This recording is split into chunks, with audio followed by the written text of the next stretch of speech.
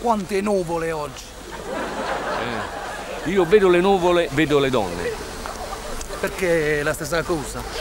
La stessa cosa, guarda, le donne e le nuvole la stessa cosa.